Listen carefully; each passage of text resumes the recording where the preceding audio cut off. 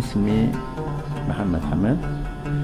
اسم محمد محمود عبد العال ولكن اسم حماد ده هو كان الاسم التجاري اللي الواحد خطاط. فلازم يعني هيكون له إيه؟ يعني هيكون له شهرة. اتعلمت الخط العربي آه، عن طريق المدارس الأولية. كنت بدرس القرآن وكان المدرس بتاع القرآن. والمدرس بتاع اللغة العربية والمدرس بتاع الحساب كل واحد بيطلع على السبورة وبيكتب عنوان الدرس على السبورة. دي خلت ال- الإنسان عينيه مليانة مليانة بالفن. الخط العربي نشأ في الحيرة وبعد عملية ليها تاريخ طويل يعني. إنما مثلا إحنا نقدر نحسبه من أول آه، الرسالة. من أول رسالة كان في خط بيتكتب بيه القرآن اللي هو الخط الكوفي. الكوفي المصحفي. وبعدين في كل عصر بيحصل فيه عملية تطور حضاري وبيحصل تبادل ما بين البلاد وبعضها والتبادل طبعا ده محتاج عملية الكتابة. فكانت هي الأول ابتدأت الكتابة. وبعدين مع التطور الحضاري ابتدأ يبقى خط. يعني كانت الكتابة حاجة والخط حاجة تانية. مع التطور الحضاري ابتدأ يحصل بقى إيه؟ آه، الناس عايش بقى بقى في في في, في رفاهية فبقى في فن. في كل عصر من العصور أضيف إلى الخط قلم جديد. إلى أن وصل حاليا دلوقتي إلى هم إيه الست أقلام اللي هو الكوفي والثلث والنسر والرقعة والناس تعليق والديواني. ومشتقين منهم زي عملية الموسيقى برضو يعني ده بيطلع من المقام برضو إيه مقام تاني. فطلع من الثلث حاجة تانية اسمها الإجازة ثلث على نسر وطلع من الديواني حاجة اسمها جلي الديواني. وفي طبعا المحقق والحاجات من الثلث برضو طلع المحقق.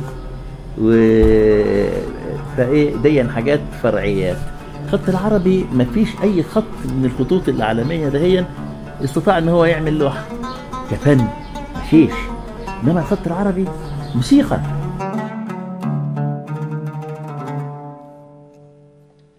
كان القصر الملكي اللي الخطاط فيه رئيس قسم الخط ياخد رتبة البكوية لأن في جمال وفي روحانيات.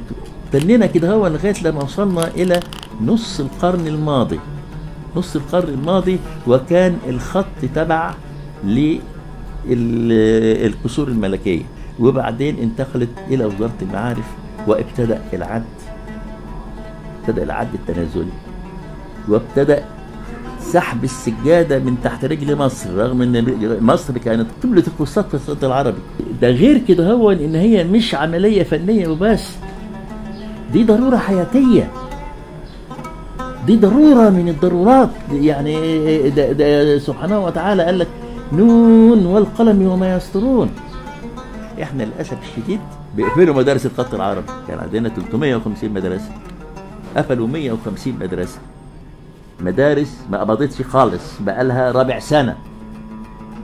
لأن هم اللي عايزيننا نقفل مدارس وعمرنا ما هنقفل مدارس. يعني إحنا متحديين العملية اللي عاوزين يقفلوا مدارس الخطوط وقاعدين فيها. وهندرس وببلاش.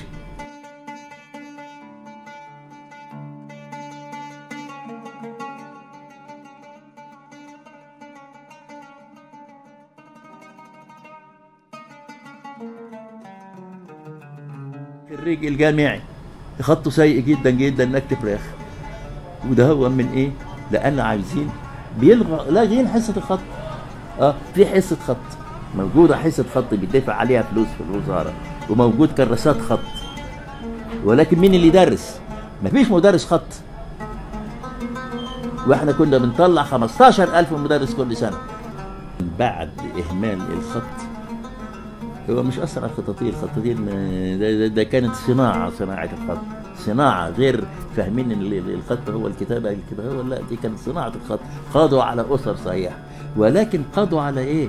قادوا على الشعب كله. الشعب كله خلاص ما بقاش عنده حس ما بقاش عنده تلقي. يعني أنا دايما أقول أنا لو رحت عند دكتور علشان أكشف وهو ده اللي هيحييني ولا يبطته سيئة مش هروح له. مش حاسس باسمه إزاي هيحس بيا؟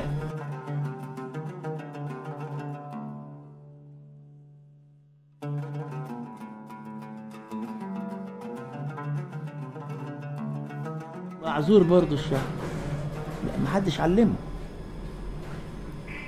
كان دار العلوم لابد في دار العلوم لابد فيها خطاط كان فيها سيد إبراهيم هو الخطاط بتاع دار العلوم. الأزهر لازم يكون فيه مدرس خط. مدرسين خطوط كلية الفنون جميلة كلية الفنون التطبيقية. مدارس المعلمين معاهد المعلمين. لازم يطلع اللي بيمسك. طب إزاي هتعلم ابني الكتابة؟ الخطاطين بقوا زي الترابشجيه الخط جاب له الحظ ما كان تصف حروف والخطاطين أصبحوا في وضع غير مألوف. مكنة بتكتب وإحنا نقشر توم عملنا إيه يا زمن؟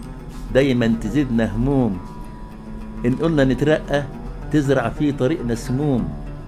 إن كانت المكنة هتكتب زي ما عرفنا هنبقى زي الصور مرصوصة في ألبوم. الله يرحمك يا حجاج